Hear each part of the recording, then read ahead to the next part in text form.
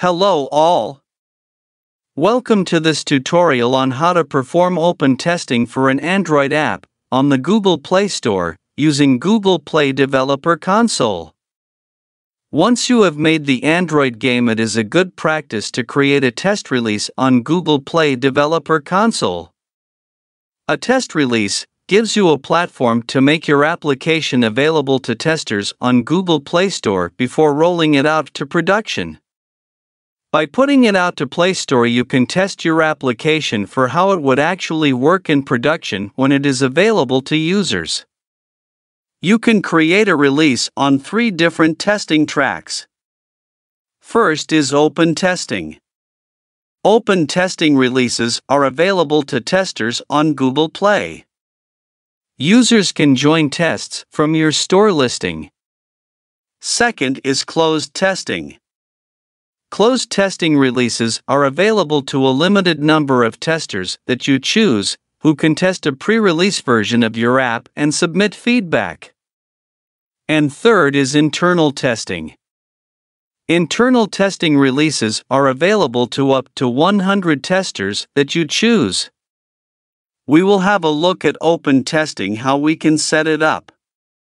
Once this is understood, it would become self explanatory to perform other two testing types in case you need to perform testing on them as per your requirements.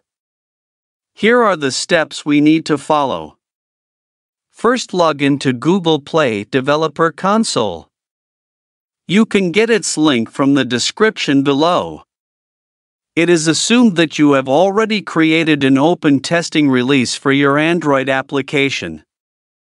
To set it up for open testing, click on your application on the home page of Google Play Developer Console. As an example, here I have an application called SpyRun in production. So, we will click on it.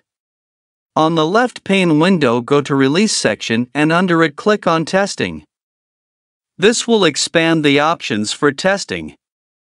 Since we are going to cover open testing here, we will click on Open Testing. We will click on Testers to set up open testing. An open testing release purpose is to run a test with a large group and surface your app's test version on Google Play. If you run an open test, anyone can join your testing program and submit private feedback to you. So, under Testers section you get two choices as to how many testers can test your app. Unlimited will have no restriction on the number of testers and everyone can do testing. Limited number needs a specific number of testers who can test your app, with 1000 being the minimum number. You can provide a feedback URL or email address for getting feedback from testers. The testers can either join your test using Google Play on Android or they can join on the web.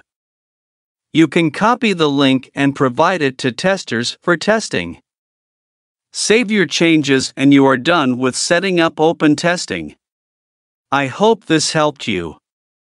Please consider subscribing to my channel and pressing the bell button to show your support.